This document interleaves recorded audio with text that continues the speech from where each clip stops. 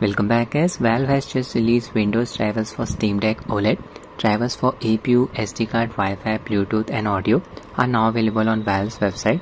Before installing the latest APU driver, just make sure your Steam Deck is running on the latest BIOS version. Just update SteamOS to version 3.6.9 beta or anything newer than that. A note is mentioned here on Steam Deck OLED Windows. Audio won't work via the speakers. It will only work via headphone or Bluetooth. Unfortunately, Steam Deck LCD's Windows APU driver still hasn't been updated. Last update was released way back in November 2023, almost 8 months ago. So I decided to install OLED Windows APU drivers on my Steam Deck LCD variant. They work fine. I was even able to get AMD's Adrenalin software working. I'll show you the complete process. Now installing OLED Windows APU driver on Steam Deck LCD is something that I would not recommend but we have no idea when Valve will release the official Windows GPU drive for Steam Deck LCD. It has already been 8 months now. First I'll show you the current version of the GPU driver. Just click on the Windows icon here, type dxdiag, run command, click on it. It started. Just click on the display tab here. Current version of the driver 31.0.21020.1014. Yeah, it's old and outdated.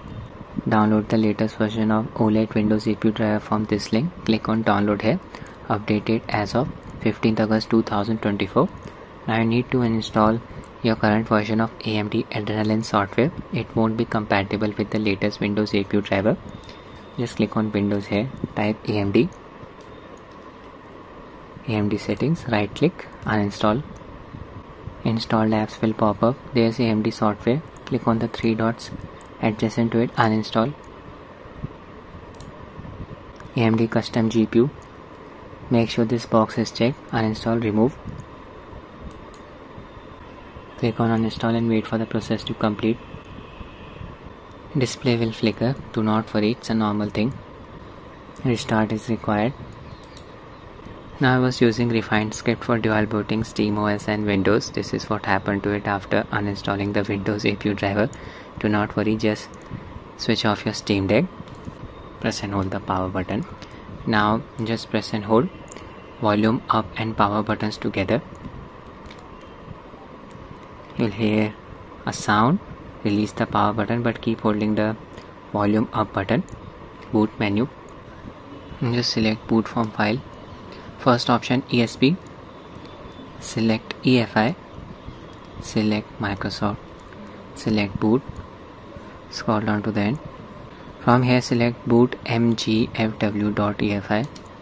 You'll boot straight into Windows. There it is. You'll only encounter this issue if you have installed rEFInd script. If you don't have AMD Adrenalin software already installed on your Steam Deck, you can directly install the latest Windows APU driver open file explorer go to downloads extract the gfx driver zip file open it copy the folder go back paste it extraction complete. Open the folder. Run setup.exe file. Detecting our system configuration for driver and software compatibility. Detected. Additional options. Factory reset optional. It does not wipe your PC completely. Only removes the older GPU driver files. Entirely up to installation type full. I have not checked factory reset setting. Install display will flicker during the installation process. Do not worry it's a normal process. Display going black. It's working again. Process complete. Click on finish.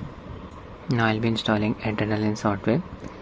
Just run this exe file corresponding to Adrenaline version 24.7.1 WHQL driver. It will scan for compatible hardware. The process will fail, do not worry. Just click on close. Its content got extracted. Go to C drive. Look for AMD folder. There it is.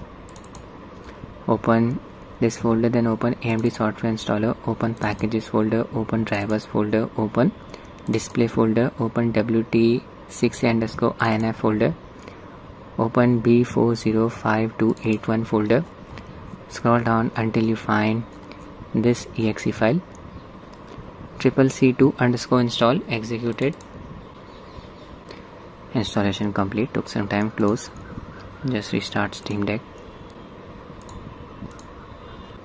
I'll just boot into SteamOS now.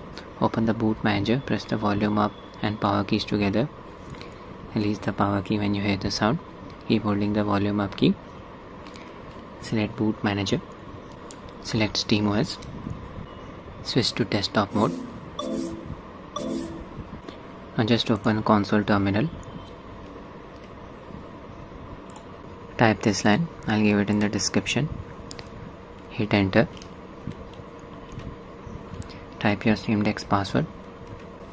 rEFInd settings will open up. Here you just need to comment out all of the resolution lines. Basically add a hash in front of them.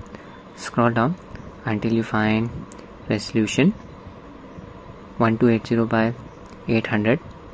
Just add hash at the start of this line. Like this. Save the setting by pressing Ctrl and X keys together. Yes, Y, hit enter. Press Y save. Close. Restart steam deck. Starting rEFInd script. Yeah it's in portrait mode now. Windows. There you go. Our windows is working again this issue was related to rEFInd script only nothing to do with windows. Just right click anywhere in the desktop area. Make sure resolution is set to 800p display orientation set to landscape. Now you need to go back to SteamOS, open refind.conf file and add the hash symbol at the start of resolution 1280 by 800. SteamOS desktop mode, open Konsole, run this command, enter your Steam Deck's password, scroll down until you find this line hash resolution 1280800 just remove hash at the start of this line like this save the changes Press Ctrl and X keys together. Yes, Y. Hit enter. Press the Y key again. Close. Restart. There's rEFInd script. Windows. And we are in. Now in case rEFInd script still does not work properly for you after updating Windows APU driver, do not worry. Just update its file via SteamOS the process is very simple. You can follow Deck Wizard's guide. I'll give the link to their video in the description of my video. Don't want to repeat the steps. This is the section that you want to watch. Bring dual boot back. It will hardly take 2 minutes for everything to get working again. I can confirm that rEFInd Script works properly with this new Windows APU driver. Now open DXDIAG. Check the version of the driver. Click on display. I'll just zoom in. Latest version 32.0.11002.3007 updated as of 6 June 2024 not the latest drivers. Open adrenaline now. Type AMD settings. Yeah it's working. Version 24.10.02.03 performance OLED does not work see. Settings. Display settings. Disable very bright from here. You can enable custom color settings. Use your own settings. I have already shown the settings for Steam Deck LCD in my previous Adrenaline video. I checked the graphics setting guys. Anti-lag setting is available but no AFMF as expected. These are the available settings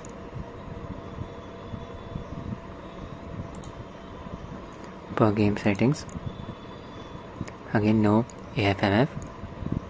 This GPU driver does not add hardware decoding support as well. I'll just quickly run one game. Adrenaline settings for GTA 5. Anti-lag setting enabled. VSync enabled as well. If in the background, Steam Deck tools and RTSS are running. In-game settings, 800p resolution. FXAA enabled. VSync disabled from here. Population density and variety set to 50%. Same thing for distance scaling. Most of the settings are set to very high. Reflection MSAA disabled. Motion 10 set to nil. That's it. Steam Deck tools overlay is working properly. I'll just open 8 settings. Just press and hold this physical button with 3 dots here. Brightness can be adjusted. Yeah zero brightness. Just set the level to 60 volume. Speakers are working properly. Resolution. No fps limit applied. VSync is enabled so FPS is capped at 60 SMT enabled.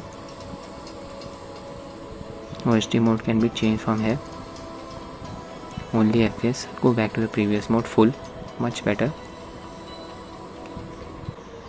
There's Franklin standing in the open here FPS is close to 50 not bad at all. Very high settings. I have set the UMA buffer size setting to 4 GB on Steam Deck Windows we cannot set this value higher than 4 GB this is a big limiting factor for newly released AAA games. They can easily eat up to 5 or 6 GB of VRAM games stutter a lot. Here you can see the VRAM usage. Close to 3 GB GTA 5 is an old game we know that for example Resident Evil 4 remake will easily consume around 5 to 6 GB even when the game is running at 800p resolution driving around. Good performance again. That's it with the video guys. I hope you find it useful. Thanks for watching and have a nice day